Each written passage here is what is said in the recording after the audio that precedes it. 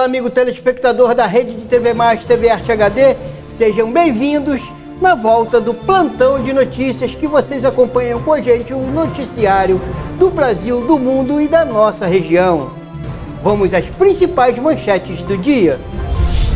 Servidores seguem com protesto para impedir a entrada de novos gestores em Hospital Federal de Bom Sucesso. Bolsonaro confirma candidatura à presidência de 2026, mas tem surpresa. Moradores de Rio das Ostras estão sem abastecimento de água há duas semanas. Lumiar comemora 135 anos com festa neste sábado. Estão abertas as matrículas para a educação infantil de 2025 em Guapimirim. Prefeito eleito de Rio das Ostras quer pente fino nas contas da prefeitura. E você acompanha ainda as notícias locais dos municípios de cobertura da nossa emissora, a previsão do tempo, acompanha também os esportes e, como já falamos, notícias do Brasil e do mundo. Está no ar o plantão de notícias. Servidores do Hospital Federal de Bom Sucesso, o HFB, na zona norte do Rio de Janeiro, permanecem na porta da unidade. A entrada de funcionários do Grupo Hospitalar Conceição, o GHC, de Porto Alegre, responsável pela nova gestão. Até às 16 horas de quarta-feira, os novos gestores que passaram terça-feira tentando em vão entrar na unidade ainda não haviam comparecido ao Hospital de Bom Sucesso. Cristiane Gerardo, auxiliar de enfermagem e dirigente do sindicato, que está lá ao lado de outros manifestantes em colchonetes na direção e na porta do hospital, produzindo cartazes, reafirmou que não sairão do local. Rodrigo Amorim traz mais detalhes. Acompanhe. Os servidores federais estão em greve desde maio deste ano e já vinham realizando manifestações contra a intervenção do Grupo Gaúcho no hospital. Procurado, o Ministério da Saúde mencionou o despacho emitido pela Justiça Federal determinando que os manifestantes não impeçam o acesso de equipes da pasta e do GHC e lamentou que o movimento na porta do hospital ainda prossiga. O Ministério não respondeu sobre prazo ou uso de forças policiais para intervir na situação. Afirmou apenas que aguarda o cumprimento da decisão da Justiça para que o processo de transição na gestão do HFB ocorra de forma pacífica. Ao longo do dia, apenas uma viatura da Polícia Militar tem acompanhado o movimento. Vamos agora à notícia da política que tem uma aí nova e quente. Bolsonaro em queda com o PL. O ex-presidente Jair Bolsonaro do PL afirmou que é candidato da direita para a presidência da República em 2026. Notícias com a Dilma Becker dá os detalhes. A declaração rebate o presidente do PL, Valdemar Costa Neto, que disse em entrevista à Globo News no último dia 11 que os primeiros da fila para a disputa são o governador de São Paulo, Tarcísio de Freitas, republicanos, e Eduardo Bolsonaro, PLSP. Em entrevista ao portal Auri Verde Brasil, que é alinhado ao bolsonarismo, o ex-presidente se queixou de não ser nada no partido. Bolsonaro está inelegível até 2030 por decisão do TSE, Tribunal Superior Eleitoral. Há duas condenações. Uma por prática de abuso de poder político e uso indevido dos meios de comunicação durante reunião do presidente com embaixadores estrangeiros em julho de 2020. E dois, e outra pelos mesmos motivos por promover sua campanha à reeleição no 7 de setembro de 2022, um evento de Estado. Bom, o ex-presidente mostrou uma irritação muito grande com as entrevistas do presidente do partido, Valdemar da Costa Neto, e disse que deve ser candidato da sigla para 2026 ou, abre aspas, palavras dele, vai jogar a toalha, caso fique inelegível. Bom, aí não tem jeito, caso ele fique inelegível, é sine qua non a situação, tem mesmo que jogar a toalha. E moradores de Rio das Ostras estão sem abastecimento de água há pelo menos duas semanas. A notícia vocês acompanham com Adriano Pereira do portal Cidade 24 Horas. Olá, moradores dos bairros Cidade Praiana e Cidade Beiramar reclamam que estão sem abastecimento de água há duas semanas. Um morador aqui da Travessa Alagoas procurou a nossa equipe nesta quarta-feira para relatar o problema. Ele afirma que antes o abastecimento de água era de quatro em quatro dias, conforme o sistema da Rio Mais. Mas agora ele relata que está sem água na torneira há duas semanas. Moradores informaram à nossa equipe que já solicitaram carro-pipa, mas até o momento também não foram atendidos. A nossa equipe fez contato com a Rio Mais Saneamento e aguarda um retorno da concessionária responsável pelo abastecimento de água na cidade de Rio das Ostras. E o distrito de Lumiar, em Nova Friburgo, comemora seus 135 anos com festa neste sábado, dia 19. Reportagem que vocês acompanham com Dilma Beck. Um dos distritos mais procurados em Nova Friburgo, Lumiar comemora seus 135 anos nesta sexta-feira, dia 18. Mas a festa está marcada para o sábado, dia 19, para todo mundo poder curtir a programação festiva e gratuita. A terceira edição da festa de aniversário do 5 Distrito Friburguense começa às 15 horas. Para celebrar a data, a Prefeitura de Nova Friburgo, por meio da Secretaria de Cultura, promoverá uma programação especial no 5 Distrito. A abertura do evento acontecerá às 15 horas. Em seguida, no mesmo horário, o grupo Os Mansurelli se apresentará no coreto da Praça Central. Às 17 horas, será a vez de Jadeu Samba. Em seguida, às 19 horas, o trio Lumiar animará o público e às 21 horas, B2 Regional encerrará os festejos. Localizado no coração da Serra Fluminense, o distrito de Lumiar, pertencente à cidade de Nova Friburgo, tem se consolidado como um dos principais destinos turísticos para aqueles que buscam tranquilidade, contato com a natureza e experiências autênticas.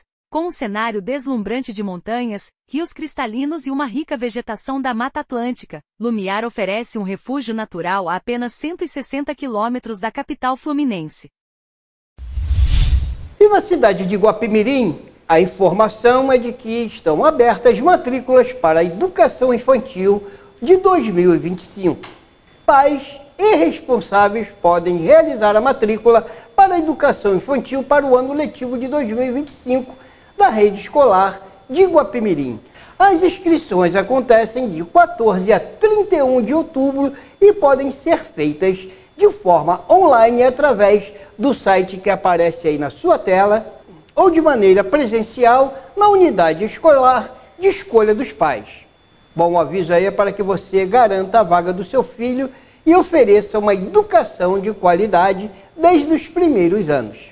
E o prefeito de Rio das Ostras quer fazer pente fino nas contas da última gestão municipal. Através do ofício 01 de 2024, o prefeito eleito de Rio das Ostras, Carlos Augusto Baltazar, formalizou a indicação da equipe de transição de governo, equipe que foi constituída com o objetivo de obter um diagnóstico preciso dos principais problemas enfrentados pela administração pública e garantir uma transição transparente e eficiente. Rodrigo Amorim segue dando os detalhes. A indicação da equipe de transição de governo, que será chefiada pelo advogado Renato Vasconcelos, seguindo as diretrizes estabelecidas pelo Tribunal de Contas do Estado, TCE, e pela Lei de Responsabilidade Fiscal. O novo governo, que assume em janeiro de 2025, já enfrenta uma série de desafios complexos e urgentes. De acordo com levantamentos internos, a situação financeira do município é crítica, destacando-se o déficit previdenciário que ultrapassa 40 milhões de reais. Esse rombo na previdência municipal representa uma grave ameaça à sustentabilidade do sistema e pode impactar diretamente o pagamento de aposentadorias e pensões dos servidores. Outro problema identificado pela equipe de transição é a crise na gestão de saneamento básico, agravada pelas constantes reclamações da população sobre os serviços prestados pela Rio Mais Saneamento. As falhas recorrentes no fornecimento de água e no tratamento de esgoto têm gerado transtornos frequentes para os moradores, além de riscos à saúde pública. A empresa é alvo de críticas pela ineficiência e falta de manutenção adequada das redes de distribuição e coleta. Bom, na cidade já começa o ano de gestão de Carlos Baltazar com os seguintes problemas. Vamos lá, vamos pontuar. Tem impasses jurídicos, além das questões financeiras e de infraestrutura, a transição terá que lidar com entraves legais. o Ministério Público recentemente emitiu recomendações contra a prática de utilizar servidores comissionados para exercer funções de advocacia pública no município. A situação coloca em risco a legalidade de diversos atos administrativos e pode resultar em sanções contra a atual gestão. As expectativas para o novo governo de Carlos Augusto e a sua equipe de uma transição planejam realizar uma análise profunda da situação orçamentária, identificando contratos e despesas que possam ser revisados e renegociados. A prioridade será restaurar o equilíbrio financeiro e rever a situação deficitária da Previdência e garantir a regularidade dos serviços essenciais para a população. Em entrevista à InterTV do Rio de Janeiro, Carlos Augusto anunciou iniciativas prioritárias para o novo governo. Vocês acompanham a matéria. E vamos trabalhar com muito afinco para que população e turistas possam ter, já nesse início de governo, a demonstração de que vamos fazer a diferença.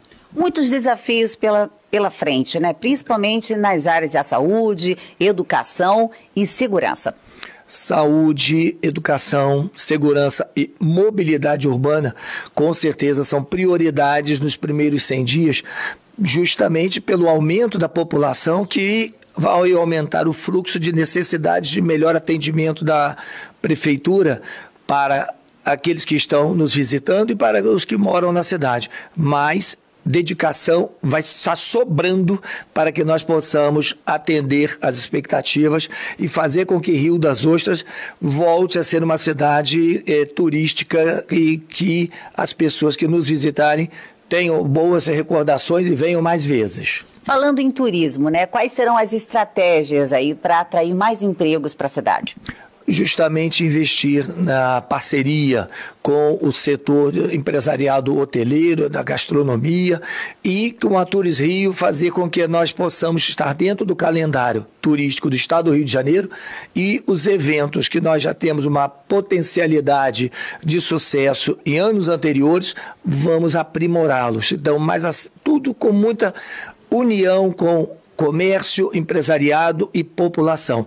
Prefeito, qual será a sua relação do seu governo com o governo estadual e também federal? Já quando recebi o telefonema do governador parabenizando pela votação, pela vitória, dentro de próximos 15 dias nós estaremos eh, conversando com o governador sobre a duplicação a concretização da duplicação Rio das Ostras, Macaé, sobre a inauguração do governo do Estado, da escola do governo do Estado aqui em nossa cidade, mais rápido possível, para que moradores do, de todo aquele setor, daquele, da região de Marileia, Âncora, possam ter também uma escola é, justamente estadual funcionando naquela, naquela região. E, acima de tudo, buscar parceria com o governo do Estado, com a Secretaria de Saúde do Estado, para que nós possamos atender as demandas, principalmente das cirurgias eletivas, que estão com mais de duas mil pessoas nessa, na fila aguardando cirurgia diante a gestão que fora feita no município de Rio das Ostras, é claro que será preciso uma auditoria profunda para identificar as transações que foram feitas ali na prefeitura, que quase se tornou um balcão de negócios. E um homem foi preso por estupro no município de Cachoeiras de Macacu. A repórter Dilma Becker traz os detalhes. Policiais civis da centésima quinquagésima nona DP Cachoeiras de Macacu, prenderam na terça-feira, dia 15 de outubro, um homem por estupro. Ele foi localizado e capturado, após levantamento de informações, em uma unidade hospitalar do município de Cachoeiras de Macacu. O homem, que era foragido, deu entrada no hospital fornecendo informações conflitantes sobre sua identidade. Ele já havia sido investigado pelos policiais da centésima quinquagésima nona DP em 2019, quando os agentes ainda trabalhavam na delegacia de Casimiro de Abreu. E vamos agora à previsão do tempo. Áreas de instabilidade continuam a se espalhar pelo sudeste do país. No Rio de Janeiro, a previsão é de pancadas de chuva. Já no norte fluminense, o predomínio será de tempo firme. Acompanhe.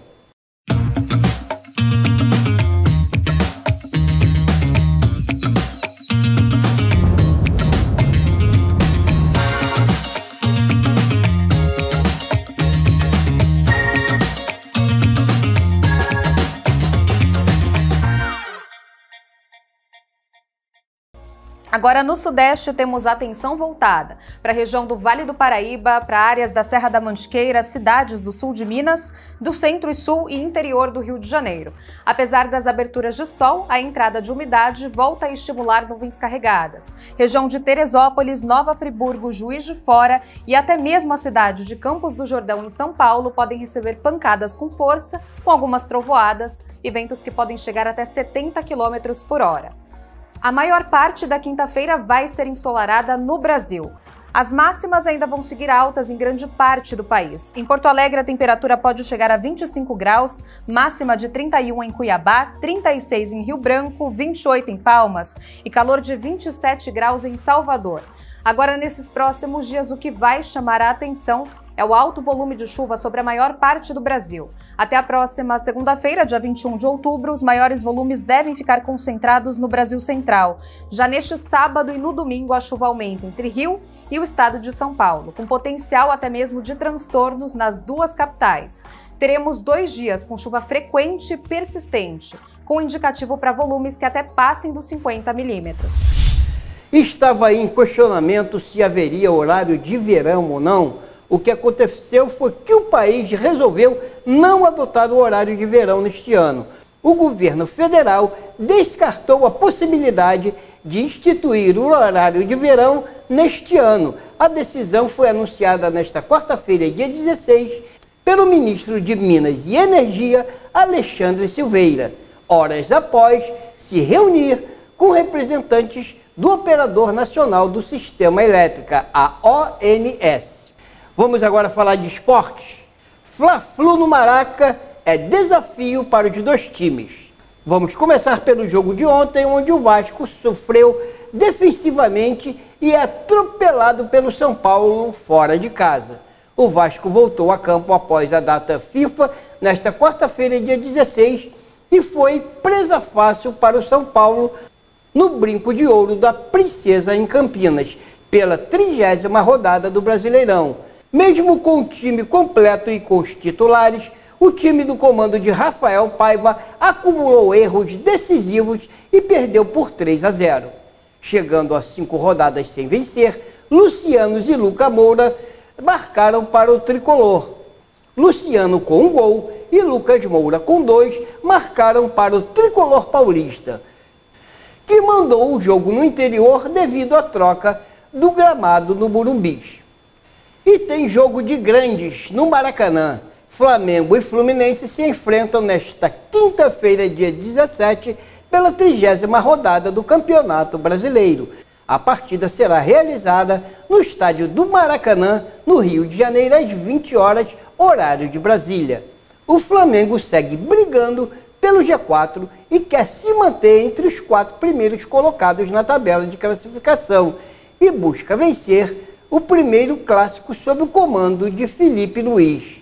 Do outro lado, o Fluminense quer se distanciar da zona de rebaixamento e Mano Menezes também pensa em vencer o seu primeiro clássico depois de perder para o Vasco e Botafogo desde que chegou ao clube. Então vamos aí, torcida flamenguista toda reunida para esse partidão que a gente acompanha hoje. E uma última notícia que chega aqui na nossa redação é que o prefeito de Caxias, sucessor e eleito, são denunciados à justiça por abuso de poder econômico durante a campanha eleitoral. O advogado Edson Lorival dos Santos ajuizou uma ação judicial eleitoral por abuso de poder econômico contra o prefeito de Duque de Caxias, Wilson Reis, e o seu sucessor eleito no dia 6 de outubro, Netinho Reis. A notícia você pode conferir na íntegra no blog do jornalista Eliseu Pires. E assim nós vamos terminando mais uma edição do Plantão de Notícias, agradecendo a todos vocês que nos acompanham através das redes sociais e do canal 57 da Sumicite. Nós agradecemos a sua audiência Agradecemos também a nossa equipe pelo trabalho desenvolvido no nosso telejornalismo e nos despedimos até a próxima edição. Muito obrigado e até lá.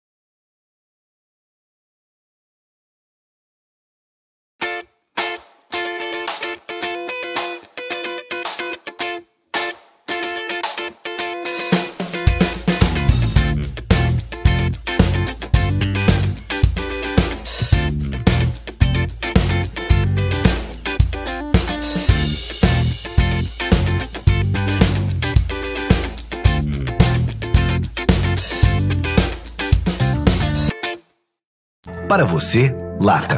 Para ele, casa. Para você, pneu usado. Para ele, academia. Para você, garrafa. Para ele, maternidade. O que para você é lixo, para o mosquito da dengue é um luxo. Deixe seu quintal sempre limpo e acabe com as mordomias do Aedes aegypti. Olá pessoal, estou aqui para anunciar mais uma grande inovação do nosso governo. Oi Vinícius, deixa eu falar. Claro, fique à vontade. Olá, eu sou o Garrinchinha, seu servidor público virtual e inteligente. Estou aqui para ajudar você a emitir seus documentos com segurança e facilidade.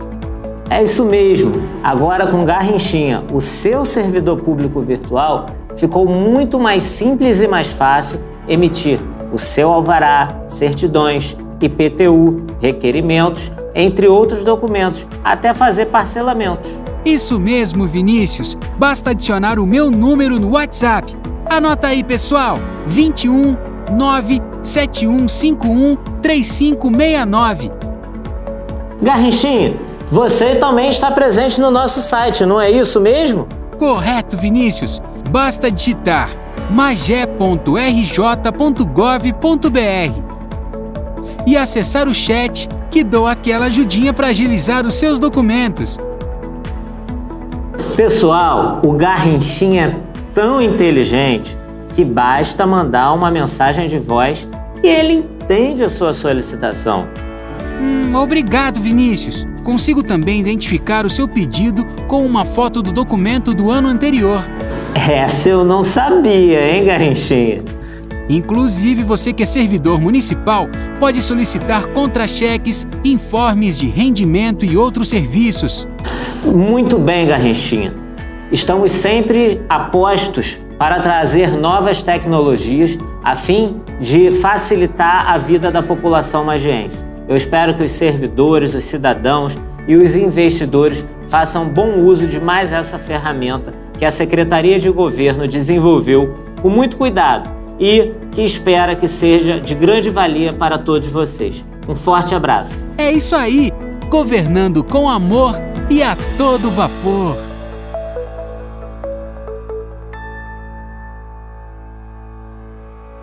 A vida é para quem sabe viver.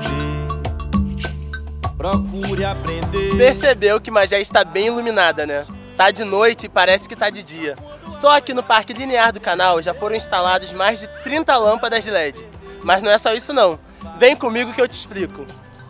E quando menos esperar, clareou. A iluminação ficou boa, dá pra jogar um fute mesa, jogar alta, fazer uma caminhada. Melhorou bastante aqui na comunidade do canal. Tô gostando bastante. Tá bem parecido como se fosse o dia. A qualidade tá, tá bem legal. Recomendo a todos que venham para conhecer, para prestigiar Pau Grande. Aqui em Magé já foram mais de 1.200 pontos de LEDs espalhados por todo o município. É mais segurança, economia e sustentabilidade para o povo. Ajuda as crianças, os comerciantes e todos os moradores. Magé, nossa cidade, nossa casa.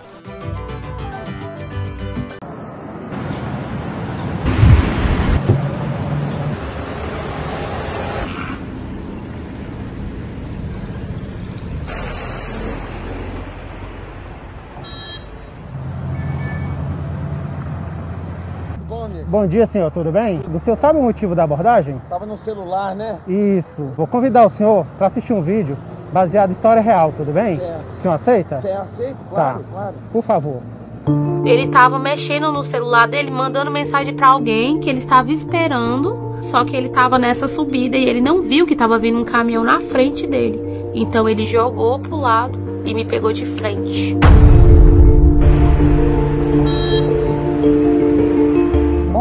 Senhores. É, a senhora sabe por que está sendo abordada? Desculpa, eu estava falando com minha filha. Pois é, a senhora estava no celular, foi flagrada utilizando o celular. E eu vou te convidar a assistir um vídeo junto comigo aqui, tudo bem? Eu amava dança, eu era dançarino. Nós estávamos preparando para ir para o carnaval para Correntina. Na Celândia Centro, ali próximo ao hospital, esse rapaz no Gol Prata e eu na moto.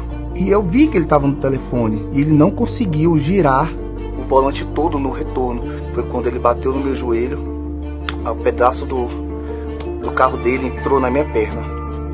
A imprudência tirou a minha vida, tirou o meu modo de viver. Foi muito forte. E meu filho chegou a falecer na mesma hora. Porque deu um efeito chicote nele. É questão de um milésimo de segundo. Olha a situação de você ouvir isso. Você nunca será o mesmo. Nunca. Consciência, porque às vezes você está destruindo a família. Quando envolve outras pessoas, não envolve só a pessoa, envolve todo o ciclo dela. Isso é uma conscientização, tá? Um vídeo para que o senhor evite fazer isso, perceber que o senhor tem criança, entendeu? E isso qualquer um está sujeito a acontecer. Ainda mais as pessoas mais jovens têm o costume de usar bastante celular, né? A tecnologia. Vamos fazer o melhor daqui para frente, né? Não utilizar o celular, né? Ela que é nova, ainda não está dirigindo. Contamos com o senhor, tá bom?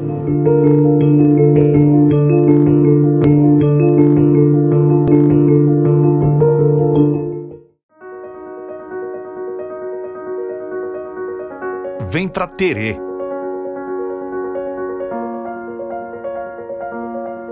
Descubra os encantos que Teresópolis reserva para você. Não importa a estação do ano, Terê está sempre pronta para você.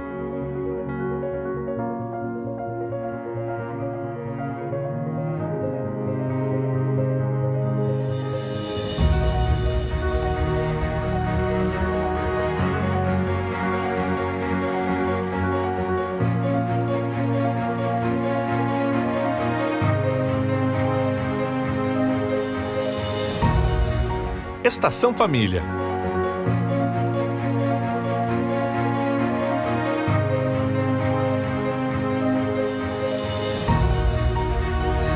Estação Chocolate.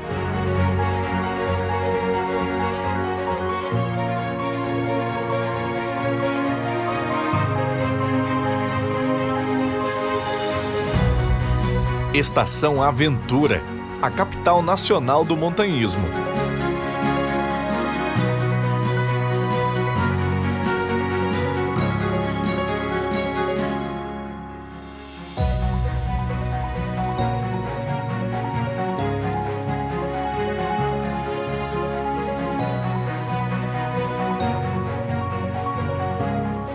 Estação Inverno.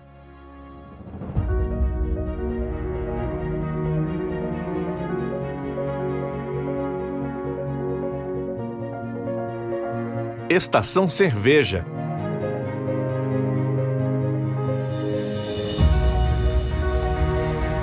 Rota cervejeira na capital nacional do lúpulo. Teresópolis, terra de luz.